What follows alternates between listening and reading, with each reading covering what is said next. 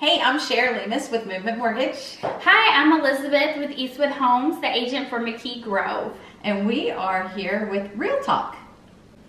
So today, I thought that I would interview Elizabeth, kind of putting you on the hot seat, and ask commonly asked questions that buyers have whenever they come into a new construction neighborhood. Okay. So we're going to just jump right into it. And the very first question for you, Elizabeth, is what are the benefits of buying a new construction home? Oh, that's a great question, Cher. It's one that I answer kind of all the time, but Two things that stand out the most to me are the personalization that you can do with the home if you're building from the start up, you know, the choices and things that you're able to make. And even now with some of our homes that have already started construction, there's still places for you to come in and right. personalize.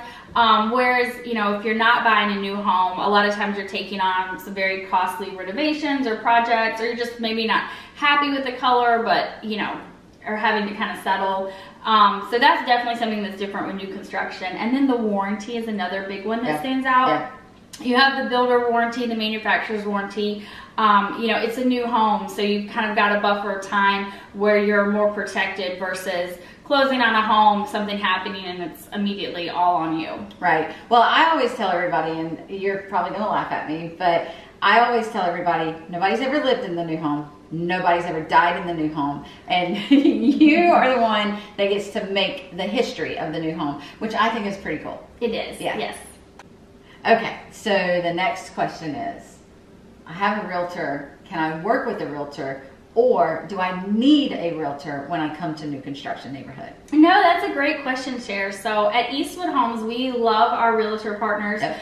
And we always tell everyone if you have a relationship with a realtor, absolutely use that realtor. We honor that relationship um, throughout the process. Even though you have your new home sales agent, your realtor is another set of eyes and ears um, to help you through the process as well. So absolutely, like the more the merrier, and it just kind of helps the process be smooth from start right. to finish when your realtor's involved with us and another kind of helping hand for us. Right. Well, and I'm going to just go ahead and throw my two cents in because I have the pleasure of working with tons of realtors who do take buyers to new construction neighborhoods as well as resales. And there's benefits to, to both, and we, and we all know that. But the number one thing that I love about Eastwood is that you do honor and love your realtor relationship. And what a lot of people think is that, oh, I'm not going to use my realtor and I'm going to go buy this new construction house and I'll get a deal. And you're not because it's illegal. It is illegal to market a home for a higher price with the realtor and then a lower price without. And there's a lot of builders out there who don't want you to bring the realtor, but my experience with you guys for the past 10 years is that you love your realtors and you want to foster that relationship. Yes. Okay, Elizabeth, a third and final question, and this one's near and dear to my heart. Do I have to use your preferred lender or your partner lender?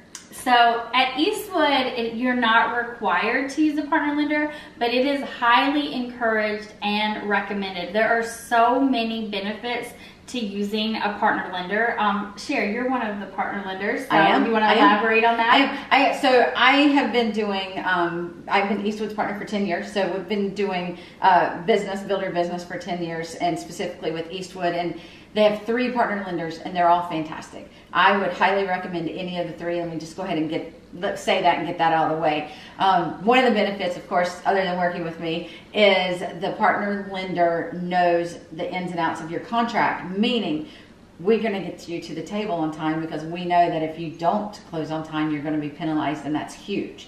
The second thing is incentives. The builder is going to offer closing cost incentives for you to use a partner lender, and that's very important because you don't want to miss out on that. And then the, the third thing, and probably what I also believe is a very important thing, are the costs. There are a lot of fees that you're going to pay, and fee is not necessarily the correct word, but there are costs associated with purchasing a home that you're going to pay that oftentimes non-preferred lenders do not know about and they they miss that information and you end up owing several thousand dollars more at closing than you were prepared for. And so by using a partner lender you're going to have all of the fees everything that we know that's associated with you buying this house because of our experience. You're going to know that information up front so you're going to get to close on time. You're going to get your incentives. Your numbers going to be right from the very beginning and you get to work with me Getting to work with Cher is definitely a great benefit as well. But I will say, any of the homeowners that we've had that have used an outside lender, it just never seems to go as smoothly as it does with Right. partner lenders. Right. Thank you guys so much for coming to another Real Talk moment with me and Elizabeth. Thanks so much, guys. Bye. Bye.